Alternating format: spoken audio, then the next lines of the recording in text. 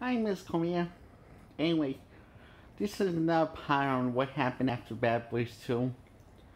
So, we let's rewind the clock a little back five years before. Hi. Hi. Oh, what happened before Bad Boys 2? Well, you see, Mom, on our first birthday, first birthday would be in age, and was one years old. Um, yeah. So, Rose five years she, every Christmas she would say, say, this is not real. And the seven years after the divorce, and AJ joined in on with. And uh, so the seven years later was said that. And the day after Bad Boys 2, the night we asked spent was the dad. And uh, later on that night, I found out about the divorce. I was so mad at mom, and mom was so mad at dad because I told she told me because she told me. Uh, uh, but she, so she um told each but not me. Um.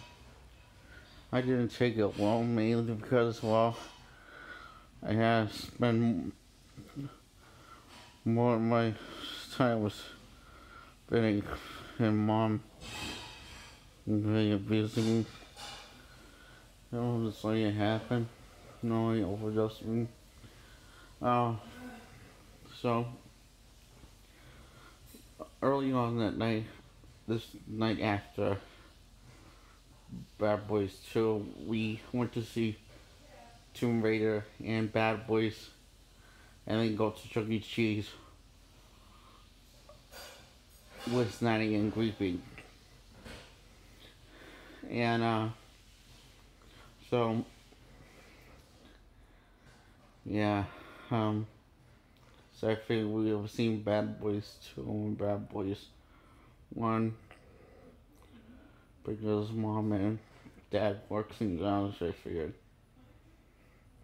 That'll be with me. I think that, um, so, yeah.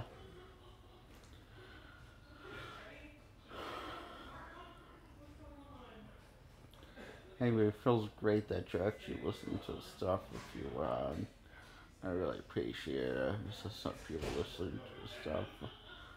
Um, um, it really helps talking about this stuff. Bye bye.